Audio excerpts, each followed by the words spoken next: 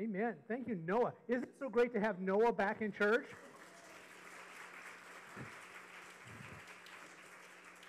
You may see him from time to time. He is the full time pianist for Peace United Methodist Church, but specifically during the fall, winter, and spring, when we're at 1015, he is now on our, our list of uh, backups if we need him. Come summer, we're at the same time worshiping. So, but he does help out. He plays at the nursing home uh, for all of us when we preach on Sunday, and that is absolutely fabulous because, as most of you know, I don't sing, so it's not like I can really help help that singing going on during that time. So I want to welcome you to worship. This is a time when we can gather together to praise God, to sing, to pray, to learn, to celebrate all the things that are going on in our lives. So I want to welcome all of you that are here in person. I want to welcome those of you that are joining us online, uh, screen to screen, as we continue to explore what it means to be God's witnesses in this time and in this place where God has put us and God has moved us and God is speaking to us. So this morning, as we prepare our hearts for worship, let us join together in singing praise to the Lord the Almighty. It's number 139 for those of you that like the hymnal, and we'll be doing verses 1, 3, and 5.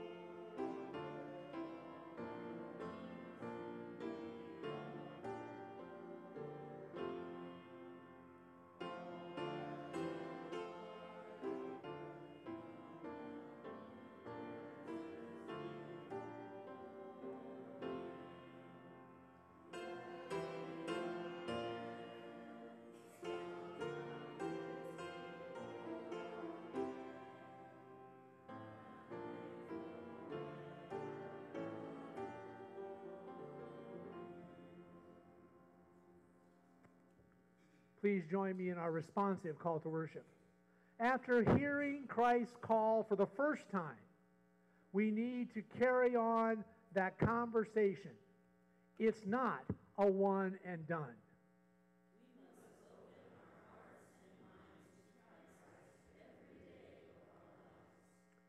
The good news is that Christ doesn't tap us on the shoulder and then leave us alone to figure it out.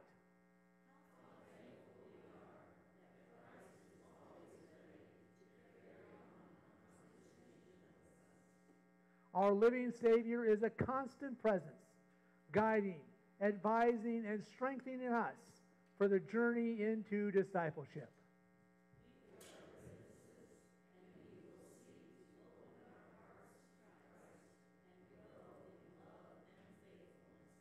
Christ is risen. Christ is risen Worship his holy name. Amen.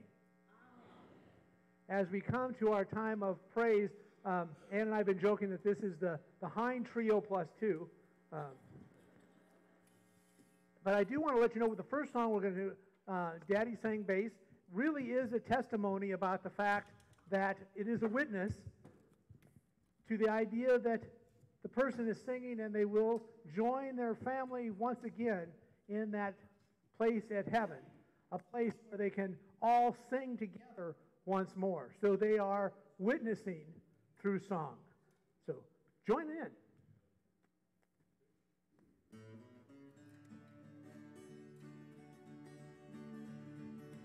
I remember when.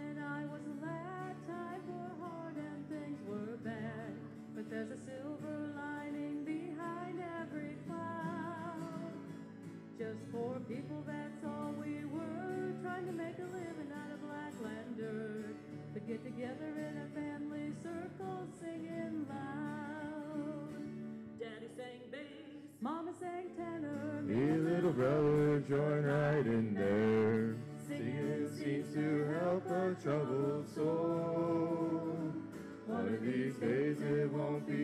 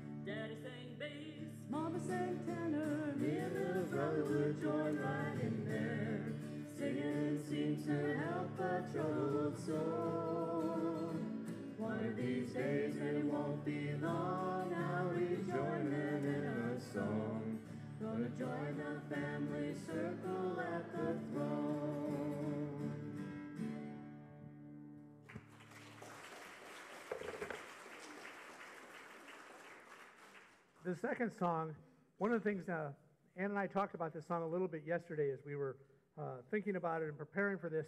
But truly, this is a witness song. In fact, it's a, a hint back to the very first witness when the thief was sitting, hanging on the cross next to Jesus, and said, Do, Lord, do remember me. So, this is a way for us to remember that first witness on that day when Christ sacrificed himself for us, as that thief testified in front of all those people. It's a way for us to sing about it and share in that glory.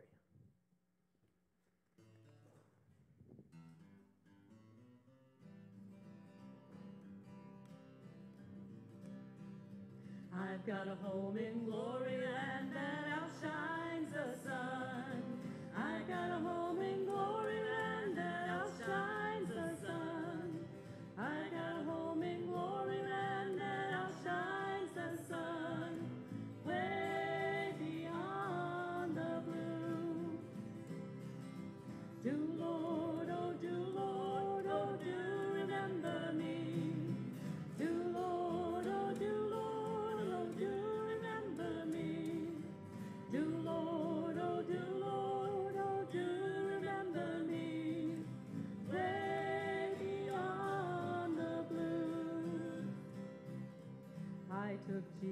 as my Savior, you take him too.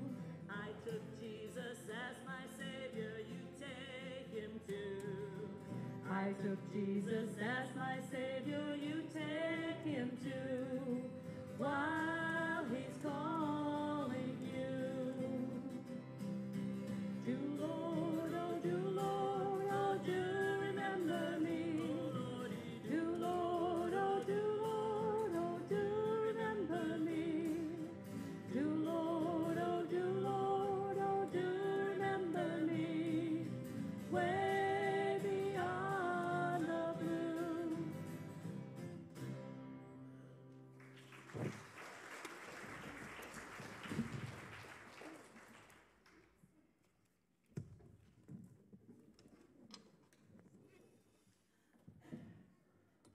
didn't realize I had my microphone on. I'm so glad I didn't start singing along with you, all of you.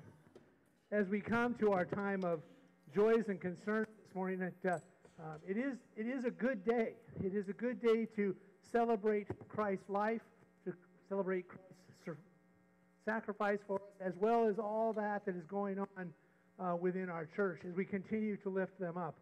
I mean, it is great to have Martha McAllister back here with us as she continues to recover from her surgery.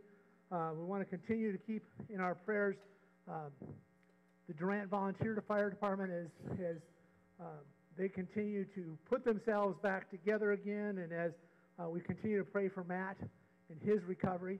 I would ask that you continue to pray for uh, our church and its ministries as we continue to move through this summer. We're going to be doing some new stuff and trying some new things. So I need you to be praying for the youth, the young adults, the children, the volunteers as we look at what church post pandemic looks like when it comes to Sundae school and discipleship making. We're going to be trying some new ministries on Wednesday night, trying some new stuff. Today was Sunday, Sunday, and we, we served up the little ones all kinds of ice cream and got them all hyped up, and, and they're all here. So if they start getting a little jittery back there, just pray on them, and uh, it's all good. We also want to continue to keep uh, Jean Scott in our prayers. I've not had any update from Bob as to uh, uh, how she's doing, but we want to continue to keep her in our prayers. Um, Jared Lang, as we continue to keep him in our prayers. I have not heard anything from uh, Joy as to how that's going, but I know that continues to, to move on. I did see on Facebook, we've been praying for Russ Steffens, and he is home, right? Okay. So he's he's halfway home, but it's all good. So far, it's all good signs moving towards getting back home. So there is an answer to prayer and a way for that we can continue to uh, lift that up. Uh, Kim Pestel, as she continues her treatments. Um, Connie, as she continues to deal with her pancreatitis, we had a little joke about it because I said she was too late for ice cream, and she goes, couldn't have it anyway. So that's so sad. But yeah, we want to continue to keep Connie in our prayers as that uh, continues to develop and move along. Um, Joy Carter's Uncle Larry, as his continues to wait, uh, continue to keep prayers for Sarah Anderson's father-in-law, Mike, as he continues his cancer uh, treatments. Uh, Dale is doing good still? All right. Is good enough to remove him yet, or you want to keep praying? Okay. So don't stop praying for him, but I will stop listing him, okay? So that's, um, keep praying for each other all the time want to continue to keep uh, uh, Crystal in our prayers. She's now okay. And is it her father that is Dallas? Okay, I wasn't. Your family's large enough. I wasn't sure I had all the right connections, but continue to pray for Dallas though, as he continues his uh, lung cancer. Uh, Ed, keep Ed McAllister and Rosemary in our prayers as they uh, continue their uh, battle with health issues and changes. Continue to keep Ann and her family, her brother and sister-in-law brother-in-law and sister-in-law in your prayers as they deal with their surgeries and uh, cancer treatments. Of course, continue to keep Carolyn Tharp Diane Budding and Marcia Hetzler in our prayers as they continue their uh, treatments and processes, as well as continue to pray for those in Ukraine. Uh, you know, we it seems like we get one good news and then we get five bad news. But uh, keep praying for those that are um, dealing with all of that. And part of me, I'm, I'm, not even sure how you could sleep. Um, during that, knowing that the minute your eyes closed, uh, the rumble that's going on outside could be heading your way. And of course, we want to continue to keep praying for um, COVID and all that because it's still present in our community. It's still doing its uh, damage. And so, like I've said, keep washing your hands and, and doing what you need to do to care for yourselves. Uh, we want to continue to pray for our homebound and our those that are in the care center. We did get an update on Chad Morgan last night that uh, uh, it was another up and down week, but he is back at winning wheels, but they're still dealing with dialysis and a few other things. And uh, uh, so Lynette asked for continued prayers that he uh, find the right solution for transportation and all that is going on in his life. Uh, are there any, first of all, is there any on, none online? Is there any prayer concerns or joys that we need to lift up besides graduation, which we'll be talking about in a few minutes? Everybody's good? All right, then let us take this time to join together in our unison prayer as we prepare our hearts and our minds and our souls to be in communion with God.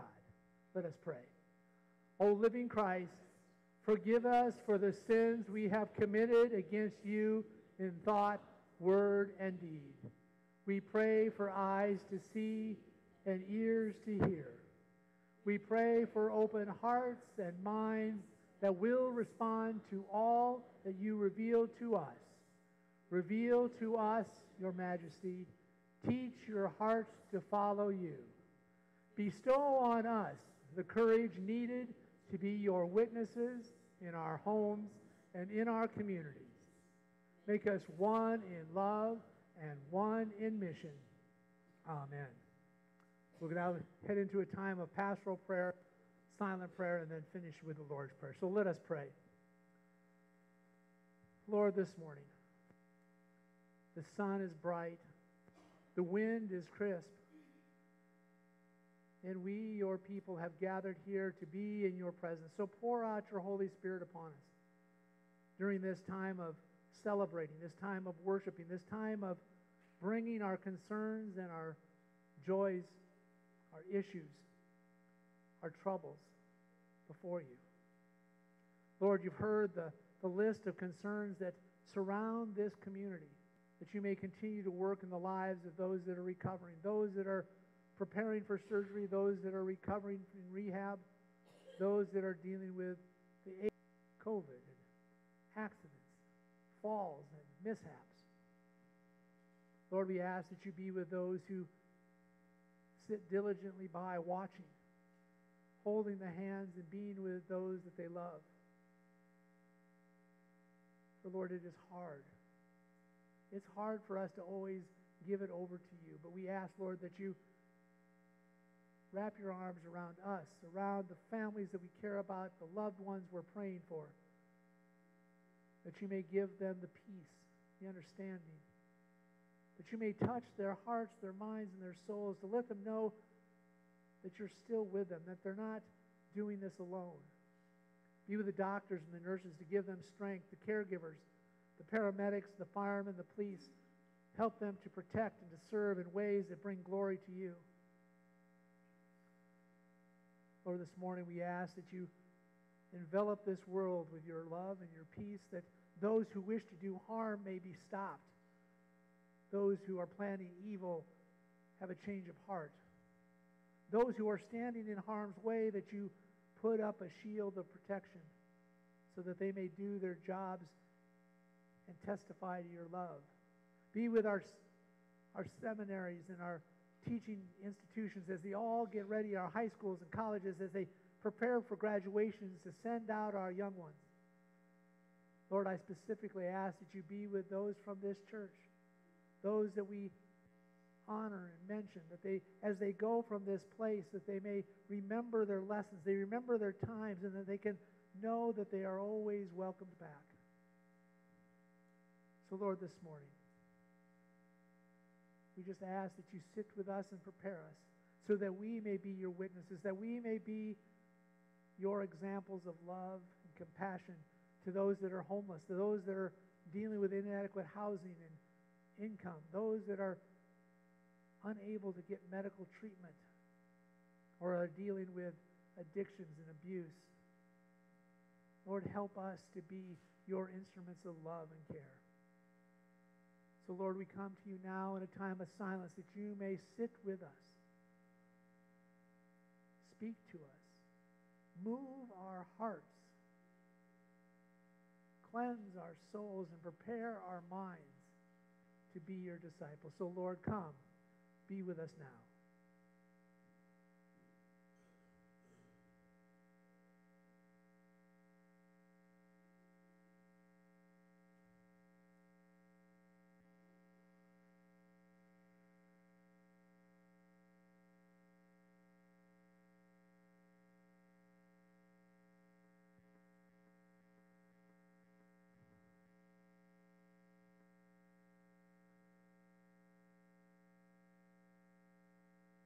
Lord, thank you. Thank you for being here. Miss your house as we sit and prepare. Thank you for being with those who have joined us online, that your reach goes beyond our imagination. continue to walk with us and prepare us as we praise your name with that prayer that you taught your disciples. Our Father, who art in heaven, hallowed be thy name. Thy kingdom come, thy will be done, on earth as it is in heaven. Give us this day our daily bread, and forgive us our trespasses, as we forgive those who trespass against us. And lead us not into temptation, but deliver us from evil. For thine is the kingdom, and the power, and the glory forever. Amen. The good news God is working in this place, God is working in your homes. God is moving to prepare you for the kingdom that is yet to come. That as we witness and as we testify with our lives, with our words, with our love, that God has worked through us already. So as we continue to prepare ourselves and to praise God, let us now reflect with the hymn Open Our Eyes. It's number 2086 in the little black book, and we'll be singing this twice.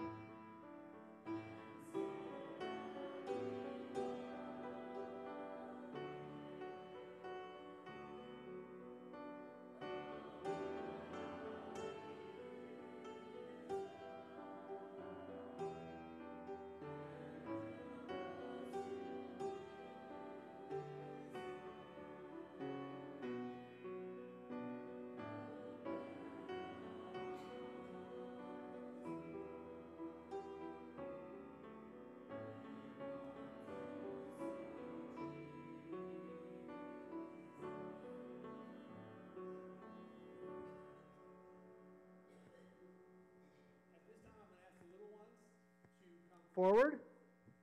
Come on up here, have a seat, and I'm going to ask Dylan and Anna to come forward. I'm not going to make you sit on the little step. You get to sit on the pew. You guys, no, you guys, you guys on the step. You are on the step.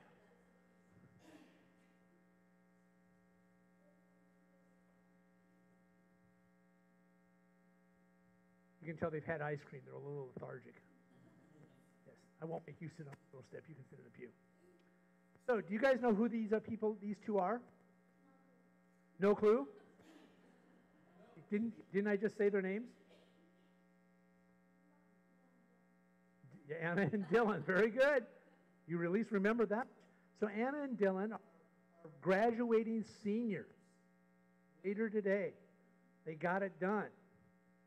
They can probably remember. In fact, I'm pretty sure I can pull up pictures of Dylan for sure, of him sitting there just like you. Hard to believe, huh? Not really? I think it's a little hard for Dylan to believe that. It's hard to believe that Dylan was ever as short as you guys were. I know your sister, is, sister, cousin, aunt. Cousin, okay. It's like, hmm. Yes, I know she's graduating also. But one of the things I want to let you know is they were also part of this church for quite a while, and they have been very big part of this church. You know, have you guys ever been in the handicap bathroom? That's the big bathroom, the family bathroom. Did you see a bench on the wall? A wooden bench? If you haven't, you need to look at it. Dylan made that. It was part of his 4 H project, and he won a blue ribbon for it, and he did that for the church. Anna, sometimes you, the main reason you probably maybe have seen her, a lot of times she's sitting right where Noah's sitting, and she plays the piano. But she's also in the process of painting a great big mural in the high school room of a moonrise. Did you call it that? Sunset, moonrise, something. Poofy clouds, yeah. And uh, so she's left her mark on the church. And part of what I wanted you to know is that God is going to be having you make your mark on this church too. Coming up this summer, I'm going to give you guys the opportunity, like I've given them the opportunity, to start making your marks in the church. We're going to do some projects so that you can claim this church as your own, way before even confirmation shows up. Isn't that cool? Because I've been doing that. I truly believe that every church should be marked by its members, by what they do. The trees that we plant, the things that we paint, the banners that we hang, all that kind of stuff. And so I've been doing that for 30 years with, with children and youth, and we're going to keep doing that this summer. And their example Isn't that cool? So at this time, before you guys get your suckers, I'm going to ask two of you to stand up behind them as as the as leaving. I don't want to. You're graduating high school. You're leaving there, but you are still members of this church. And so, um, in recognition of this church, make sure I grab all the right ones here. Um, it's a it's a little different and unique, and I don't want it, this looks like we've offset it a little bit, but uh, Anna, we want to, in recognition of you as a senior, there is a prayer shawl in there because because you didn't go through confirmation, you went through membership with me, you didn't get a prayer shawl. Dylan went through confirmation with Mike, right? Or with, was it with Mike or was it with Tom? All right. Before me. I won't see BS. Um, uh, before Steve.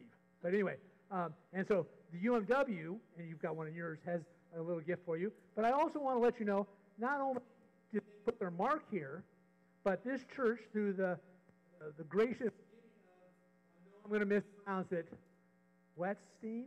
Weststein. See, I knew without it written in front. They both received a scholarship so that they can continue going to college. Isn't that cool? So Anna, Anna's going to the University of Iowa, and what are you going to study? Piano. She's going to brains and piano, basically. Neuroscience and performance piano. Is that what you said? Okay. And Dylan, you're where are you? You're going to software engineering, which duh. I mean, part of me is like seeing the robots you've done and so forth. So he's going to become a. He's going to fix. He's going to take Lance's place and help us fix all the stuff here in the church. And Anna's going to keep providing music and then figuring out what's wrong with my head, right? So we want to thank you for all that you've done for the church. We, we celebrate with you, and we can't wait to see all the great things that are going to happen. So we're all going to pray together now, okay? You guys ready? Dear Jesus, thank you for Dylan. Thank you for Anna. And help us to make our mark on your church because we love you and you love us and we know there's nothing we can do about it. Amen.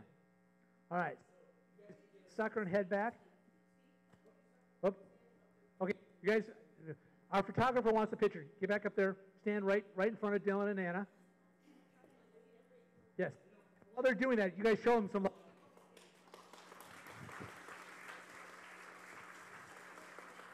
Okay. Yep, I will. Boys, you got to come out. Come on, Mauer boys. I know you're shy, but that's okay. Wait a minute. You know, when, when I stand, this is, let me go over here, okay?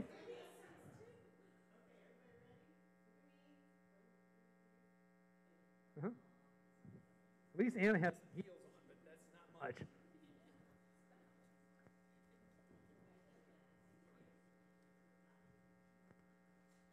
So today, as we continue to look at the idea of witnessing, the idea of being able to testify to what God is doing, we take a different look at what is going on post church formation. Shortly after, while the church is being formed, while the disciples are going out as missionaries and as witnesses to what is happening, we hear a story that involves the Holy Spirit, the movement of God, and how, and I'm hoping to help that you to see how that can affect you in your days and weeks to come. So reading from Acts of the Disciple, chapter 16, verses 9 through 15, we hear this part of the church history. During the night, Paul had a vision. There stood a man of Macedonia pleading with him, saying, Come over to Macedonia and help us. When he had seen the vision, we immediately tried to cross over to Macedonia, but convinced that God had called us to proclaim good news to them. We set sail from Troas and took a straight course to Samothrace. The following day to Neapolis, and from there to Philippi which is a leading city in the district of Macedonia and a Roman colony. We remained in this city for some time, for some days. On the Sabbath day, we went outside the gate by the river, where we supposed there was a place of prayer.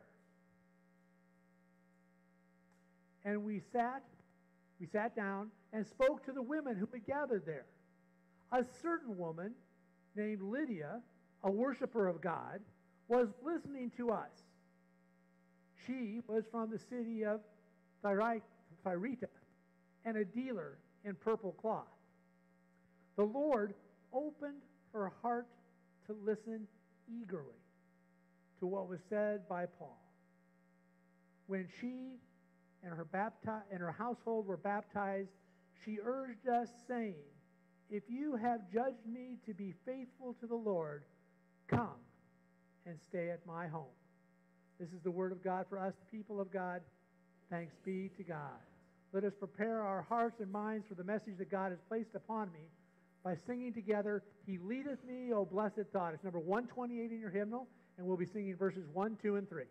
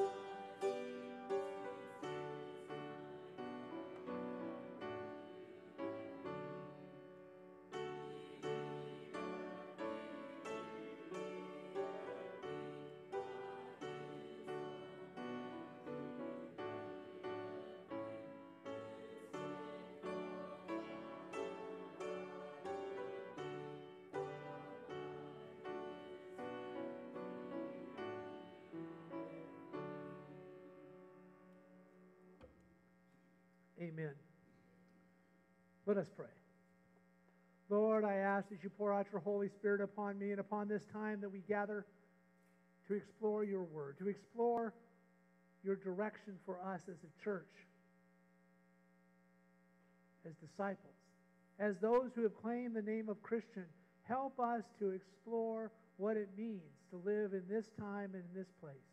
So, Lord, come, be with us now. Amen. So, this portion of Scripture, this portion where Paul is getting ready to figure out what is next, we hear about the fact that he gets a vision. He has a dream. He's being told by God that there is a possibility to go someplace else. One of the things that prior, prior to this, as you read it, we find out that they have been instructed by the Holy Spirit, by God, not to travel and preach the, the good news of Jesus Christ in Asia. They've been told to be quiet while they travel. And they finally get this sign, this vision, this dream, this insight that they are to go to the land of Macedonia. And so they figure out the way to get there. There is no direct route. In fact, it says that God for, kept them from going on a direct route. So they plan this hop, skip, and jumps till they get to the city of Philippi, which you would all know by reading the book of Philippians, is when we hear from those, it's a letter to those churches that they're establishing at that time. And so they get this vision that there are people that are craving for them to come and be a part of their community, that there are apparently people there that need their guidance to hear the good news of Jesus Christ. And so they take off on this out of the way way of getting there until they get to the city of Philippi. And it says that while they're there for several days, they're just waiting until it becomes the Sabbath, until it becomes Saturday. For they are still good and faithful Jewish people. And they seek out a place to pray. Now, in looking at what that means for a place to pray, it says they go outside the city gates and they go down by the river. Not every city, especially outside of Jerusalem and as you got farther away from the, the Holy Lands, had synagogues. Synagogues were part of, during the um, exile and after the temple had been destroyed, synagogues were built as a place where groups of Jewish people could meet and carry on the tradition that normally would have been carried on in the temple. It was a way of having a mini temple, so to speak, in their own midst so that they could pray, they could study their scriptures, they could gather for wisdom.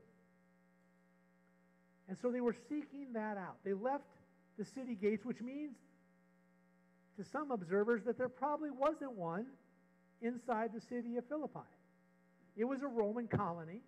It probably had plenty of pagan temples, plenty of places where you could probably get anything you wanted. Your heart's desire could be fulfilled in any of those places of worship, those pagan worships. So they went out down by the river. That could have been another song we sang, couldn't it? Down by the river. to find a place where that they could pray. And as they got there, it says that they found a group of women. Now, it doesn't say what they're doing. It doesn't say that they're worshiping. It doesn't say whether they're doing laundry or preparing to cook. They just come across some women, and it's a place where they are feeling, I'm guessing, the presence of God. And they stop and they pray and they talk. And what happens? One in the midst of these women, a young woman by the name, or an old woman by the name of Lydia. We're not quite sure what age she was, but the, by uh, historically, by the fact that they said the city that she came from, the one that I, I stumbled over more than the others, means that she probably was a freed slave from that city. And she was there doing the, the, the business that she had learned as a slave. And that was she was a vendor of purple cloth. Now, at first reading, especially in today's modern uh, setting, if we try to say, well, that, that means she ran a quilt shop, right? If, you, if you're trying to offset the two. And it's like, no, it's more like she ran the gold exchange. That's how wealthy she would have been. Purple cloth was one of the most valuable items in that region. It was only to be worn by the highest echelon of the Roman Empire and of the priests in the temple. It cost so much that nobody else had purple cloth. Another little tidbit to throw in there the process of making purple cloth, as I remember, and it was explained to me a long time ago in, in seminary, is one that probably would have kept her on the unclean side of the Jewish faith. It involved some creature, and I can't tell you now off the top of my head, and you had to like smush it and take a certain part of its organs out, and then it created the purple dye that you, and you had to do this a lot. I mean, like, like an oyster or a mussel or something, and you pulled the squeezed and purple stuff came out. Google it when you get home if you really want to know the process. But because it was a messy internal process in the Jewish community or Jewish followers of, of Judaism, she would have been on the fringe a lot of the time because she would have had gone through cleansing rituals if that was the way she was leaning towards. But it does tell us that she was a believer in God, which means that she was believing in what we would call God, Jesus. Jewish faith would have been Yahweh, would have been the person of a similarity that when Paul started to speak, she was interested. And we hear the fact that because she was listening to them and they were praying and speaking, it's a similar sight to very much of what John Wesley went through. Her heart was moved. John Wesley talked about his heart was strangely warmed. Some of us feel the Holy Spirit with goosebumps or with um, a certain sensation or uh, a certain feeling of euphoria or whatever it is that God's presence in your life. She was experiencing it at that moment while Paul and the others were praying and preaching, so much so that she basically said, Baptize me. Baptize my entire family, all of my household. For we want to follow Jesus. And because of that, you are welcome in my home. We go to find out that historically Lydia is considered one of the, the sponsors of Christianity in the early church. That because of who she was and where she was located in the city of Philippi and with the, uh, the church that was founded there, she became an important disciple, important, an important first person in the church. And it was because God touched her heart. And as in our opening call to worship, as my wordsmith wife so elegantly put it in there, it's not a one and done thing. When God moves your heart, God's not done. It isn't, oh, you're a Christian, so now you're a Christian and now you don't have to worry about anything else. No, now you're a Christian and there is more yet to do. For God will continue to touch your heart. God will continue to show you where to go. For Paul, it was outside the city gates, down by the river, around some women that were down there doing something, and they decided that was the place to pray and to talk, and to praise God. And because of that, because of their witness in that place and at that time, others were converted, others were baptized. The churches were beginning to be formed. And so God is asking us, as modern day Christians, that when we find a desire to pray, we find a place where the Spirit seems to be moving with us and we pray. And I'm going to tell you, don't do it. Don't you don't have to do it silently. Pray out loud. What's the person next to you going to do?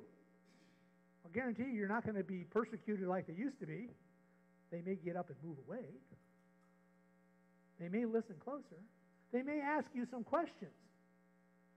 And you know what the best answer to a question you don't know is? I don't know.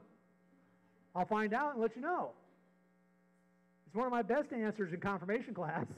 I don't know. I'll look it up, let you know.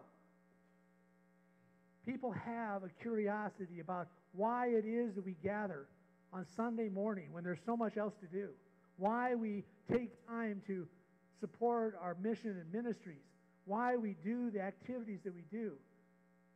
Let them ask the questions. Give them the answers because God has touched my heart and is not done touching my heart.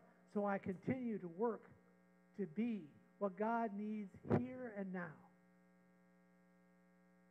So this next week, when you get an opportunity to share with somebody what it is that God has called you to be doing, whether that's planting a tree, painting a, a mural, putting in a bathroom bench, mowing the grass, washing windows. Share with them. You didn't do it because Pastor Steve forced me to.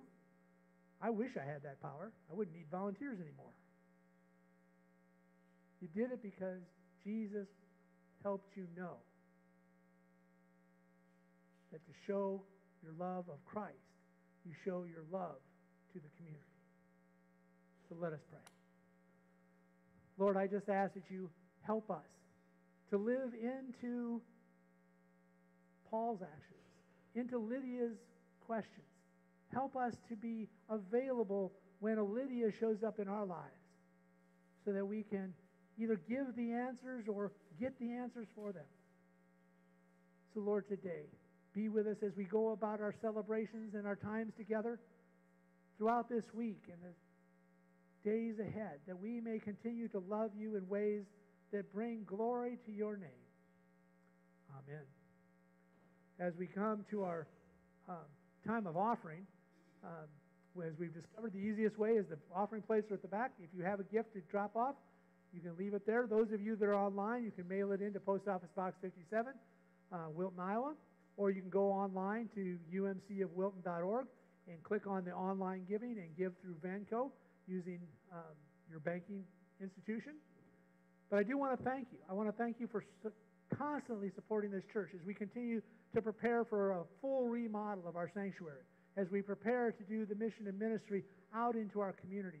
You have been good and loyal and faithful followers of Christ in the supporting of God's ministry here on this experimental plot of heaven, these four acres of heaven that God has placed us on. But because of that, let us take this time to dedicate, to lift, and to praise God for the gifts that have come in, the gifts that are coming in, and the miracles that will happen, and with the gifts that are yet to be, even be thought of. So let us pray.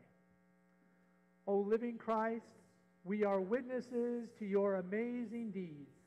We are grateful for your gifts of forgiveness and a new start. With open hearts and minds, we are resolved to listen and respond to your Spirit. We dedicate ourselves and our offerings to you. May they be a testimony to your glory. Amen. As we come to our time of announcements, um, as usual, the week this week, the sewing group will be meeting on Tuesday from 9 to noon. There's always jobs, uh, cutting, sewing, you name it. They'll find something for you to do while you're here. Um, as far as I know, Praise Band will be rehearsing on Wednesday night at 6.30. If not, Laura will be getting a hold of those of you that are in Praise Band to let you know that. Uh, the Church Executive Council meets tomorrow night at 7 uh, to continue to, to, re to, review what has happened in the church and what, where we're going. Uh, there will be an option for Zoom if you cannot make it, and their agenda and, and minutes will be coming out in the email uh, tomorrow. Next week, I am yet still trying to burn up my vacation before I lose it. Um, it's always this time of year, you know, I have to get, get it all in one way or another. So I will be gone Wednesday through Sunday um, to, uh, to use up one Sunday and a couple other days and to um, celebrate Ann's birthday. Since I won't be here to bring it up in the joys and concerns next week, uh, I will not tell you how old she is, but uh, well, that's the other reason I, because I wasn't exactly sure. I just knew she's older than I am. But but because of that, though, Ann will still be covering uh, the cell phone and any phone calls uh, that are needed during that uh, that section. I do want to let you know that on Memorial Day, I have been asked to give the invocation for that Memorial Day service, and that is that uh, the service is at 9:30 at Oakdale Cemetery, and uh, of course everyone's invited. Anna is part of that um, service also as a girls' state representative. She's going to tell us about TAPS, I think. That, isn't that we, something like that? And uh, the parade is at 9 o'clock, meeting at City Hall and on out there. And then there's a lunch to follow at the Legion following that. If it rains, it's at the high school, starts at 9.30. That's it. Um, no parade. Are there any other announcements for this week? I do know, yes, I was going to say, Missions has some. Do you want me to just try to say it, or do you want to try to say it from there? Yeah, go ahead and shout, because no, none of that's turned on, Terry.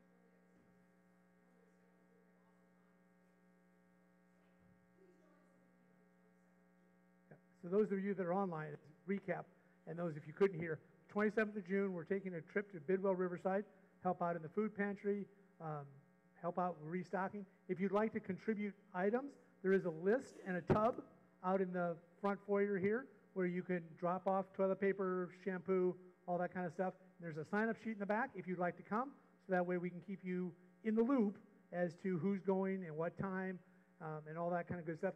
And the good news is if you got the online uh, weekly newsletter, uh, there is a link that you can click that will take you to Bidwell Riverside and show you all the fun stuff that they do there and, and the way that they support uh, their community.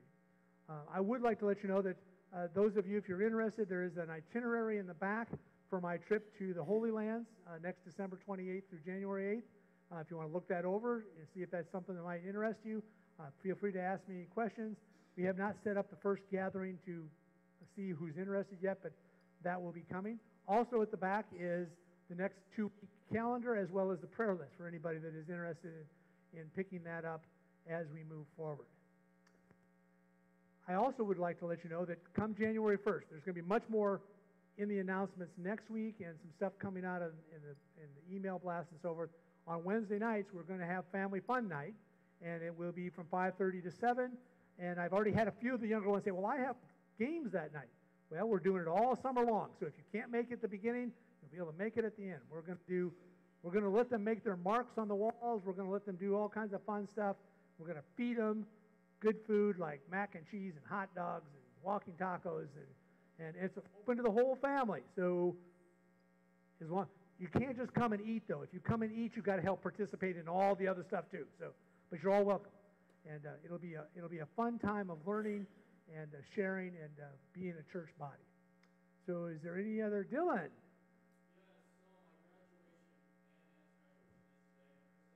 Really?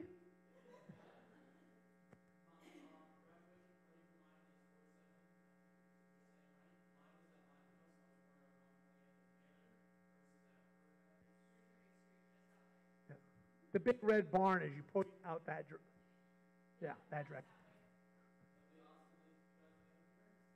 You heard all that on the internet? Big party. No, just. yes, uh, I am looking forward to it. So, are there any other announcements? Thank you, Dylan. Graduations at 2. Is it online, too? Okay. For some of those of us that may not even be out of the church yet, that's why. All right. With that, let us take this time to uh, our responsive benediction. Be witnesses of Christ's love.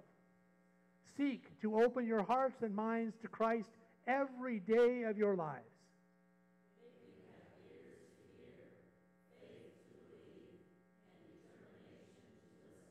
Christ is sending you into a hurting world.